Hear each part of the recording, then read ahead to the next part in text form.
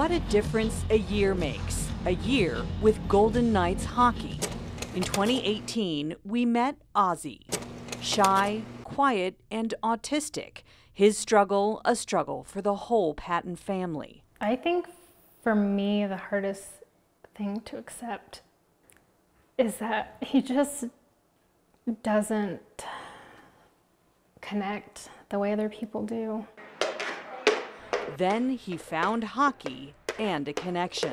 Um, hockey's really just changed my life, my personality, of how I am. It started at the very first game he attended. When I went to there, I said, that's cool, that's amazing. You're doing so good. His passion grew and he took to the ice himself. I mean, I've never really thought I was gonna be that good. Ozzie is that good. He found his niche in the net. Well, you guys interviewed me the last time I was just for skating. Now he's not only skating, he's protecting the net and thriving in a whole new world of opportunity. To say that hockey's taken over is a bit of an understatement. Instead of cars in the garage, there's synthetic ice, so Ozzie can get his hockey on anytime. Brittany Brooks There you go. is Ozzie's private goalie coach. Gloves up. For two years, she worked with autistic children as a behavior therapist. Then she found Spectrum on Ice, which is how she met the Patton family. I think that there's a big misconception out there that people with autism or kids with autism don't want to connect. I think that it's more they do, they just don't know how. In a way, she says Ozzie's autism might be helping his hockey game. Slowly, he's gotten better and better, and I think he's improved a lot faster than most kids his age because he's so focused. And playing goalie I think hockey, especially playing goalie, you're kind of behind a mask. Keeps him comfortable. And maybe at first he might have been a little overwhelmed around other kids, but more and more when he's making those saves, his teammates are going to come over and congratulate him, and he's going to really feel part of something, but he still gets to have his own space and do it at his own pace. I love the ice time, I love playing hockey, but a lot of it is music too. I like listening to music.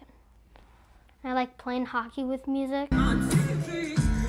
This is video his dad recorded at his first concert this summer, watching his favorite band, AJR. He has really come out of his shell a lot. He's talking to people, he's initiating conversations, which really never happened before. Mom Jackie says the biggest surprise he delivered was joining his school's speech and debate club. And I said, This is speech and debate. Do you know what that is? And he's like, Yeah, it's like when you talk in front of people. And I literally laughed out loud because I thought he was joking with me. She attributes that to hockey too. Honestly, I think it goes back to hockey because he told me that during the games, when he's playing goalie, he commentates the game. You can just see his lips moving behind the goalie mask if you look closely. All right, I could totally see him being like a sports broadcaster maybe someday. The sport has grown his imagination and coordination to the point where he no longer needs occupational therapy. And after his evaluation, the therapist said, honestly, I think hockey just did everything that I would have been doing. And then some. He's found something that he loves that we've all learned to love. I learned to skate because he learned to skate. So we can go skating together. I'm actually going to learn to play.